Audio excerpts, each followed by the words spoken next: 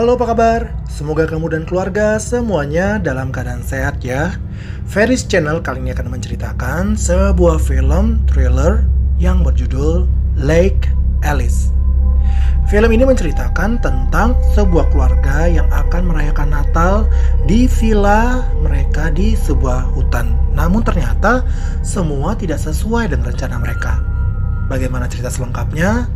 Kita mulai saja dengan alur ceritanya ya guys. Film ini diawali dengan seorang wanita muda yang sedang pergi ke suatu tempat. Wanita itu bernama Julia. Saat itu Julia sedang menerima telepon dari pacarnya. Tetapi saat ia akan membuka pintu mobilnya, eh tiba-tiba saja kunci mobilnya tidak sengaja jatuh ke bawah mobil, guys. Julia berusaha untuk menggapai kunci itu, tetapi tiba-tiba saja tubuh Julia ini ada yang menariknya. Julia pun berteriak di heningnya malam itu. Lalu, film ini pun dimulai. Beberapa hari setelah itu, terlihat sebuah mobil yang sedang melaju di jalan raya dan mobil itu memasuki sebuah jalan yang bernama Lake Alice. Di dalam mobil itu ada sebuah keluarga di mana si ayah yang bernama Greg, si ibu bernama Natalie dan putri mereka yang bernama Sarah.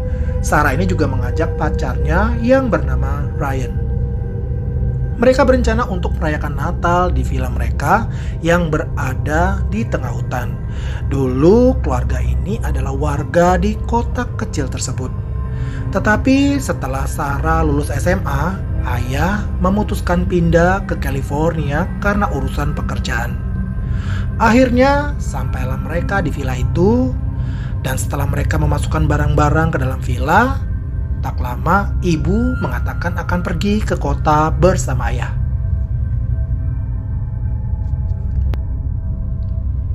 Lalu di tengah perjalanan, mobil ayah dihentikan oleh seorang sheriff yang bernama Hank. Ternyata ayah sudah mengenal lama dengan sheriff Hank ini.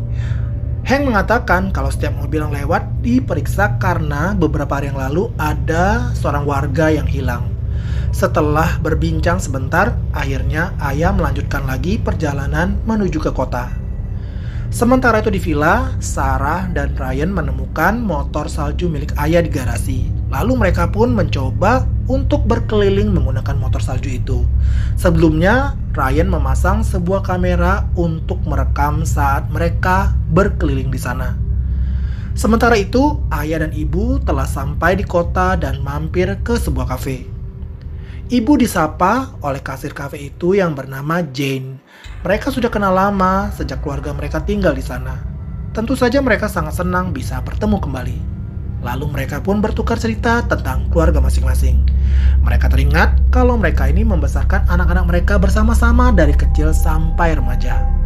Jane mempunyai anak laki-laki yang bernama Tyler, di mana Tyler dan Sarah ini sudah berteman sejak kecil. Sampai remaja pun mereka susah dipisahkan. Akhirnya mereka harus berpisah karena ayah harus pindah karena pekerjaan. Tak lama, ibu juga disapa seorang pria bernama Carl. Carl yang selama ini mengurus villa milik mereka. Sementara itu, Sarah dan Ryan pun beristirahat sebentar setelah berkeliling. Lalu tiba-tiba, Ryan memberikan surprise dengan melamar Sarah dan memasangkan cincin di jari Sarah. Sarah pun sangat bahagia dan berkesan dengan liburannya kali ini. Lalu mereka pun kembali ke villa dan Sarah heran melihat ada jejak sepatu di belakang villa mereka. Padahal mereka baru saja sampai di villa itu. Tetapi Ryan mengatakan mungkin saja tadi ayah sempat berkeliling villa sebelum pergi ke kota. Setelah ayah dan ibu pulang, Sarah menceritakan kalau Ryan telah melamarnya.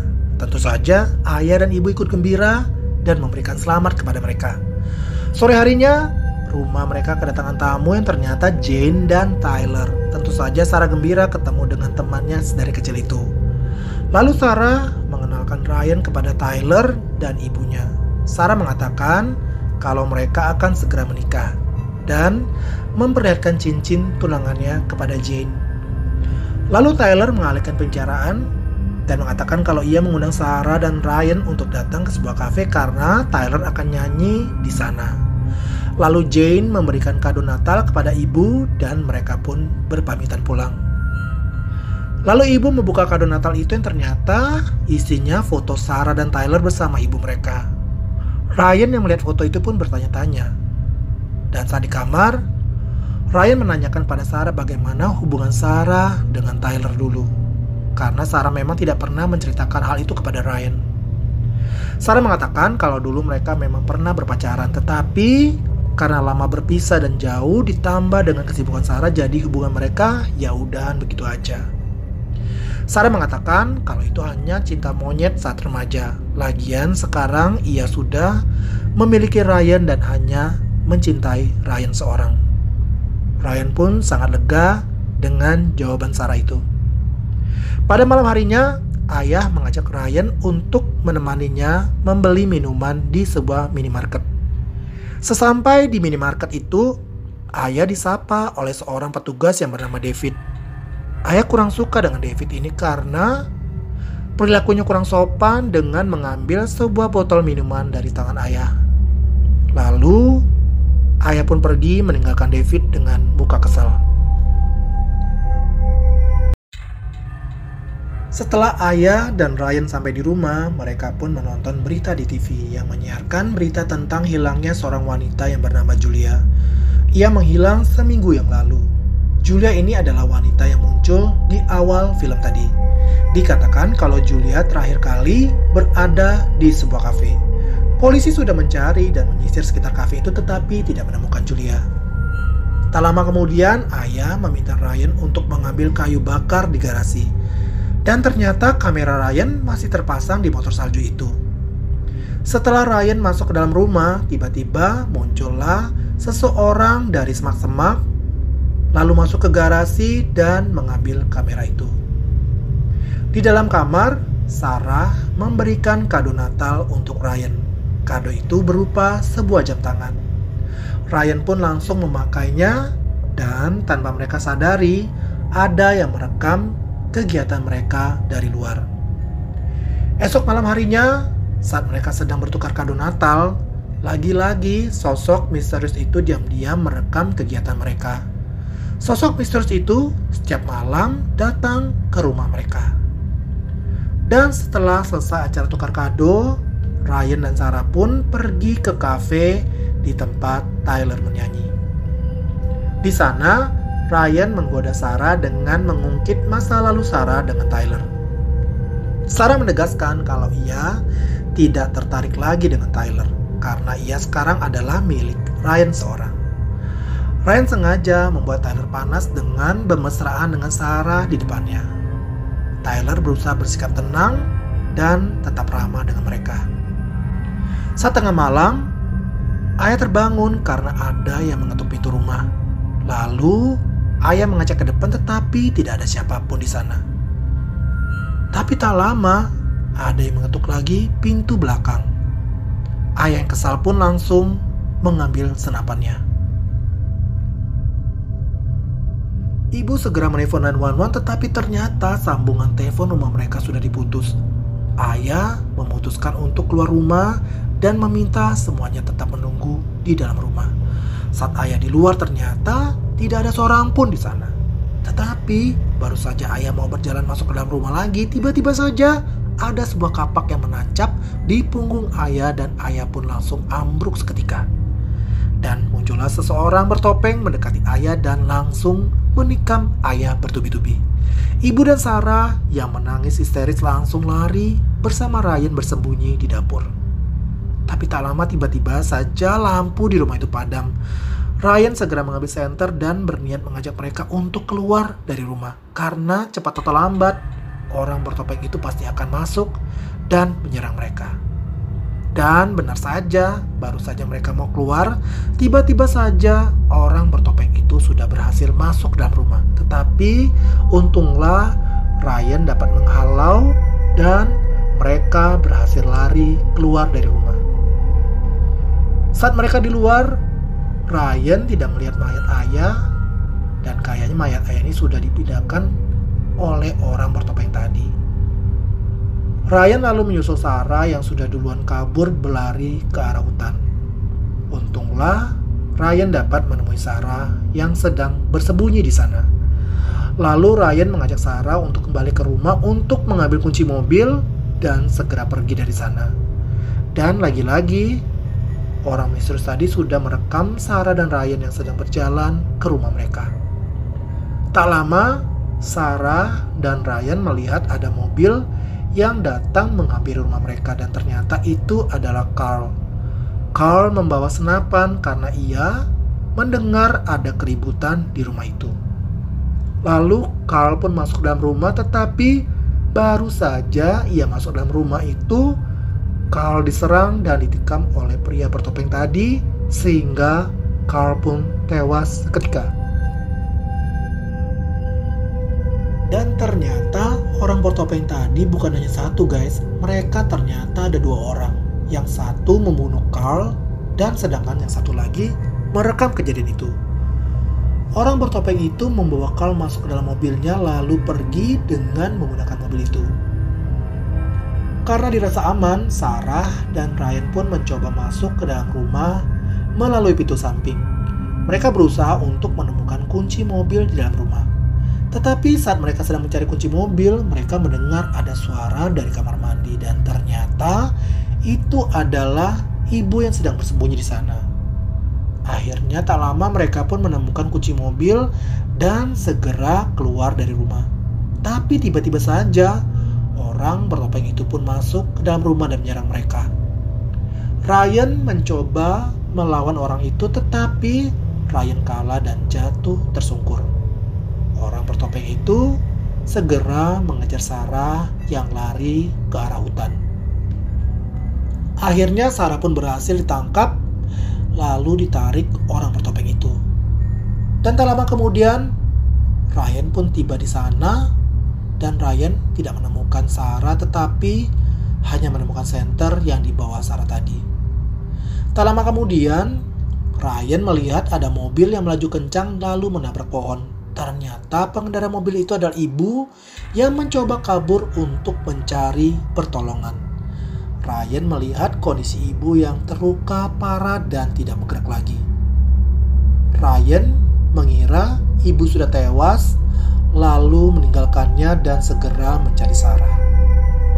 Sementara itu, Sarah yang berhasil ditangkap diikat orang bertopeng itu di garasi rumah. Karena Sarah ini terus berteriak, orang bertopeng itu pun memukulnya sehingga Sarah pun pingsan. Lalu orang bertopeng itu meninggalkan Sarah di sana. Ryan yang tadi mendengar teriakan Sarah dari arah garasi segera menyusul ke sana dan Ryan pun menemukan Sarah dalam kondisi pingsan. Lalu Ryan mengangkat Sarah dan mencoba menyadarkannya. Setelah Sarah siuman, Ryan menceritakan kalau ibu telah meninggal dunia. Tentunya Sarah sangat terpukul mendengar berita itu. Lalu mereka mencoba berjalan menuju ke hutan, dan tak lama mereka bertemu dengan Tyler. Ryan mencurigai kalau Tyler ini sosok bertopeng itu tadi. Tapi Tyler mengatakan kalau ia mendengar suara tembakan dari rumah Sarah. Karena itulah ia datang ke sana. Kemudian Sarah menceritakan semua kejadian tadi kepada Tyler. Tetapi saat Sarah sedang bercerita, tiba-tiba saja Tyler ditikam oleh orang bertopeng itu. Ryan pun segera menyuruh Sarah lari dan Ryan mencoba untuk melawan orang bertopeng itu. Sarah terus berlari, lalu ia memutuskan berhenti untuk menunggu Ryan. Tapi setelah menunggu cukup lama, ternyata yang datang bukan Ryan melainkan orang bertopeng tadi. Ternyata orang bertopeng itu dia melihat keberadaan Sarah yang sedang bersembunyi di sana. Kesempatan itu digunakan Sarah untuk menyerangnya dengan memukulnya dari belakang dengan senter. Saat orang bertopeng itu tersungkur, Sarah pun memukulnya dengan membabi buta. Setelah orang bertopeng itu tidak bergerak lagi, Sarah merasa aneh melihat tangan orang yang ia serang tadi terikat dengan tali. Dan Sarah juga mengenali jam tangan yang dipakai orang itu. Lalu, Sarah pun membuka topeng itu dan ternyata orang itu adalah Ryan guys. Ternyata tangan Ryan ini sengaja diikat dan mulutnya disumpal kain sehingga ia tidak dapat berbicara. Jadi, Ryan tidak bisa berteriak minta tolong saat Sarah memukulnya dengan membabi buta. Tak lama kemudian, Sheriff Hank datang ke rumah itu. Dan Hank curiga melihat pintu rumah terbuka dan ada mobil yang menabrak pohon. Tetapi kehadirannya diketahui orang bertopeng dan Serif Heng pun dipukul dengan senapan sehingga pingsan. Saat Heng siuman, ia terikat di pohon dan orang bertopeng itu menyiramnya dengan bensin dan membakarnya hidup-hidup. Sementara itu Sarah yang mencoba mencari jalan keluar dari hutan menemukan mayat ayahnya.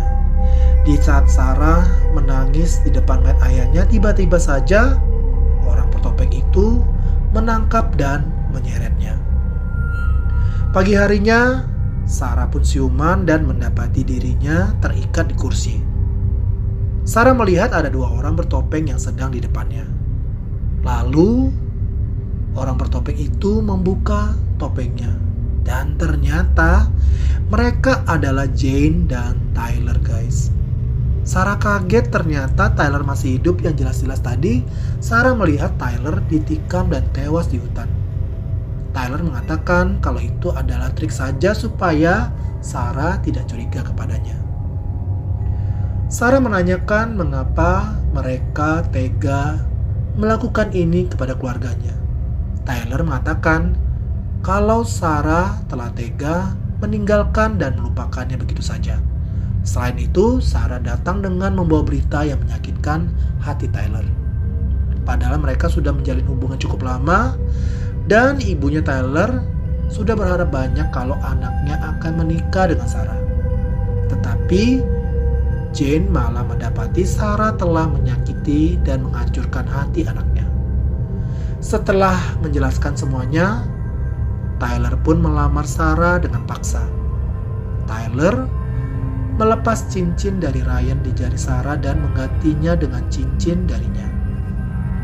Sarah mengatakan kalau ia tidak mau menikah dengan Tyler dan mengatakan kalau Tyler ini sudah gila.